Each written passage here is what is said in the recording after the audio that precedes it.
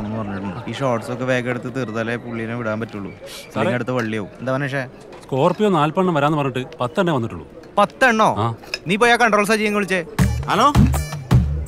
പട്ടാളക്കാരനെ വിടുന്നിടത്തിലേക്ക് ആനേനെ വിട്ടച്ച ആനേനെ വിടുന്നിടത്തിലേക്ക് പട്ടാളക്കാരെ വിട്ടുന്നോ ശോ നീയൊക്കെ എന്നെ ഈ ഫീൽഡിൽ നിന്ന് ഔട്ടാക്കുവോ ഒരു മിനിറ്റ് ഒരു minute Shirley? Good morning sir good morning ഞാൻ ഇന്നലെ രാത്രി പതിനൊന്ന് മണിക്ക് വരാല്ലേ പറഞ്ഞു എന്നിട്ട് ഇപ്പൊ പകൽ പതിനൊന്ന് മണിക്കാണ് വന്നെ? ആ ഒരു മിനിറ്റ് ഷേർലി. ഹലോ? എന്റെ പൊന്നുമോനെ ചാൻസ് ചോദിച്ചൊന്നും ഇപ്പൊ വിളിക്കല്ലേ? ഞാനാകെ പ്രാന്ത് പിടിച്ച് നിൽക്കുക സാർ ചായ. എന്റെ നെഞ്ചത്തേക്ക് ഒഴിക്കണം നെഞ്ചത്തേക്ക് ഒഴിക്കണം. ഓ ഒരു മിനിറ്റേ. അതെ ഞാൻ ഇത്തിരി തിരക്കില. പിന്നെ വിളിക്കാട്ടോ. പണ്ട് പിയാനോ പഠിക്കുമ്പോൾ പോയി ഇവിടെ ഗുണായി. ദേ ആ ഗണപതി വന്നിട്ടുണ്ട്. റെയിൽവേ പാളത്തിന്റെ ഇടയ്ക്കേടെ വരാൻ. ഇവനെന്നാ ഉരുള എക്സ്പ്രസ് ആണ് എല്ലാം ഓക്കെ അല്ലേ മോണേ ഒന്നും ഓക്കെ അല്ല മോനെ സജി. ബോസും ഞാനും ഭയങ്കര ചൂടില. പ്രൊഡ്യൂസറോട് പറഞ്ഞ് ഇക്കാര്യത്തിൽ തീരുമാനം ഉണ്ടാക്കി നീ നിന്റെ ബോസും ചൂടിലല്ലേ? ഞാൻ ഇവിടെ തിളച്ച് മറിഞ്ഞോണ്ടിരിക്കുക ഒരാവശ്യമില്ലാതെ വെറുതെ തല്ലിപ്പൊടിച്ച് കളയാനായിട്ട് നാപ്പത് സ്കോർപ്പിയോ വണ്ടി വേണമെന്ന് പറഞ്ഞിട്ടിരിക്കുക അതും ബ്ലാക്ക് ഡയറക്ടർ ഓരോ കോതമംഗലത്തെ പുള്ളിയുടെ വീടേ. ആകെ പത്തെണ്ണ കിട്ടിട്ടുള്ളൂ നാപ്പെണ്ണം കിട്ടിയില്ലെങ്കിൽ ഷൂട്ട് മുടങ്ങും. ഷൂട്ടിംഗ് എന്തായാലും മുടങ്ങും. പൊന്നു സുഗ്രീവ. അല്ല ഗണപതി. പ്രതാപ സാർ ഒന്ന് വന്നോട്ടെ. ആ അതെ തീരുമാനം ഉണ്ടാക്കാനുള്ള ആളെത്തിയിട്ടുണ്ട് അയ്യോ നാപ്പത് സ്കോർപ്പിയോ ഇടയിട്ടില്ല. അതെ ഞാനിപ്പോ വരാം. ഇത്തിരി തിരക്കില്ല നാപ്പതേ അല്ല ഹലോ.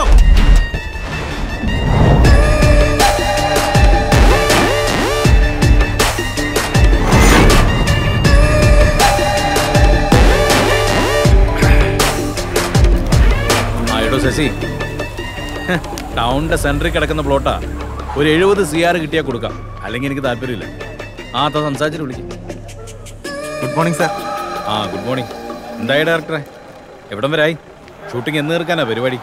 ഇനിയിപ്പോ ഒരു അമ്പത് ദിവസം കൂടി അത് ചെയ്ത് തീർക്കാനായിട്ട്? ഇനി അമ്പത് ദിവസം. എടോ തന്നോട് ഞാൻ ഈ പരിപാടി പ്ലാൻ ചെയ്തപ്പോഴേ പറഞ്ഞതാ നാൽപ്പത് ദിവസം കൊണ്ട് തീർക്കണോ അത് സാർ ഇനി? എടോ എനിക്കിത് വിഷുവിന് ഇറക്കേണ്ട പടവാ. ഈ പോക്ക് പോയ ഇത് വിഷുവിനല്ല ക്രിസ്മസിന് ഇറങ്ങുന്നു തോന്നുന്നില്ല. മാത്രമല്ല ഈ പടം ഇറങ്ങുന്നതിന് മുമ്പ് ഇവൻ ഔട്ടായി പോവുകയും ചെയ്യും. എന്താ പരിപാടി? ഇന്ന് ഹീറോയുടെ ഇൻട്രൊഡക്ഷൻ ആണ്. പിന്നെ ഒരു ഫൈറ്റും ഉണ്ട്. ഹീറോ ഞാൻ പടം പ്രൊഡ്യൂസ് ചെയ്യുന്ന സമയത്തെ ഇവനൊക്കെ വെറും ജൂനിയർ ആർട്ടിസ്റ്റ് ആയിരുന്നു. എന്നിട്ട് ഹീറോ എന്തിയേ പുള്ളി റെഡിയാ വേഗമൊക്കെ റെഡി ആയിട്ട് വരാൻ പറ. ഇല്ലെങ്കിൽ ഈ പടം ഇറങ്ങുന്നതിന് മുമ്പ് അവനും ഔട്ടാവും ബോസ് നല്ല കിടിലം ബ്രാൻഡ് ഇവർക്ക് ബ്രാൻഡി ഉണ്ടോ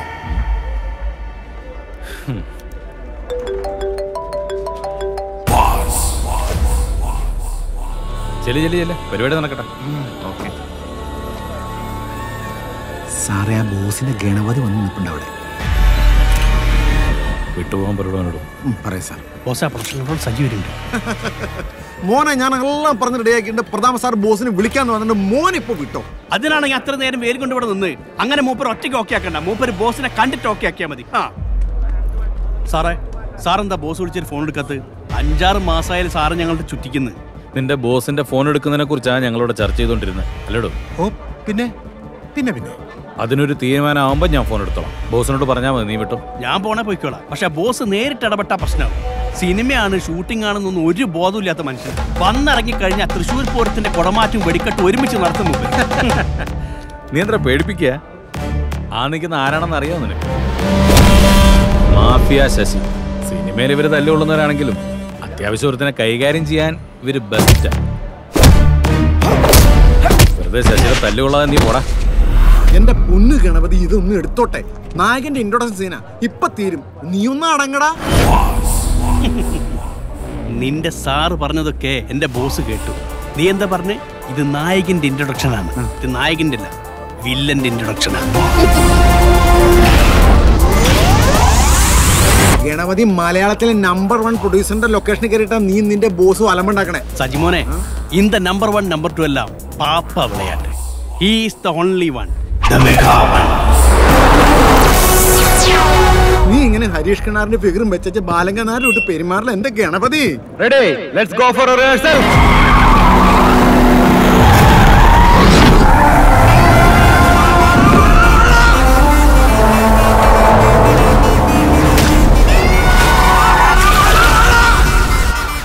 cut cut cut ആരുടെ വണ്ടിയാണത്?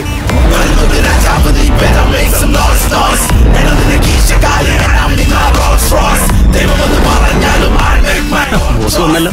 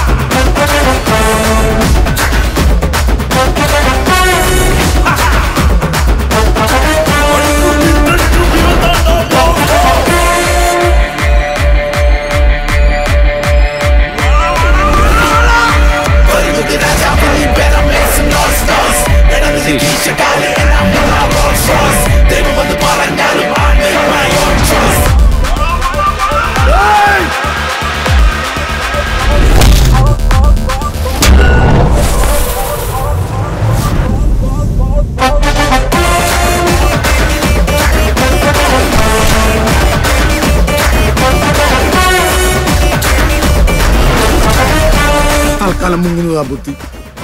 ആനയുടെ അണ്ണാക്കിലേക്കാണ് എന്ന് കയറുന്നത്.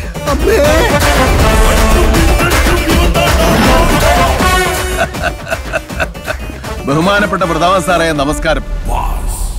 എനിക്ക് ഈ സിനിമ എന്ന് പറഞ്ഞ ഭയങ്കര ഇഷ്ടമാ അതുകൊണ്ടല്ലേ പടം തീർക്കാൻ കാശില്ലാന്ന് നിങ്ങൾ വന്ന് കരയുമ്പം ഞാൻ ഇതങ്ങോട്ട് തെരഞ്ഞു തരും പിന്നെ പണ്ട് സിനിമയിൽ ചാൻസ് തരണ്ടി നടന്ന് കിട്ടാത്തതിന്റെ വിഷമം അങ്ങ് മൂക്കുമ്പോ ഇതുപോലെ ഒരുത്തൻ ആക്ഷൻ പറയുമ്പം ഞാൻ അതിന്റെ ഇടയെ കൂടെ കയറി അത് അങ്ങ് തീർക്കും.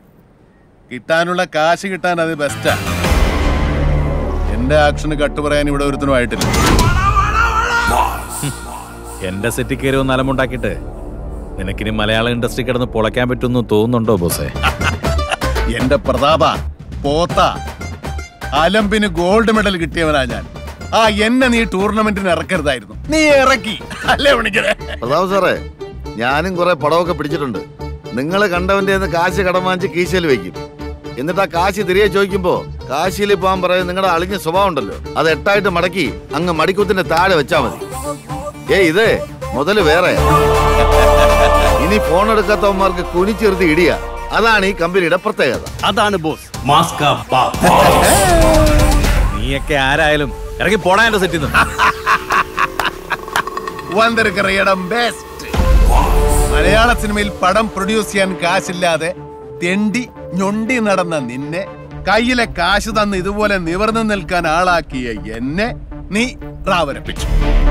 തന്ന കാശ് തിരിച്ചു ചോദിക്കുമ്പോ ഈ ജാതി ഉടായ്പ് പഞ്ച് ഡയലോഗുമായിട്ട് വന്നാലുണ്ടല്ലോ.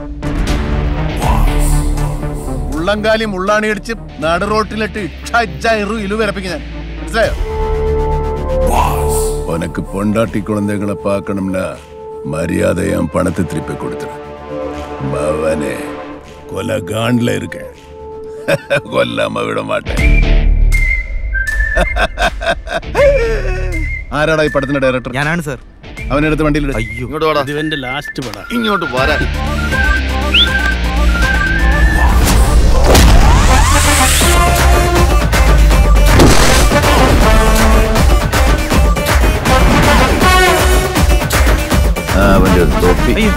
തൊപ്പിയില്ലാതെ ഡയറക്ഷൻ വരില്ല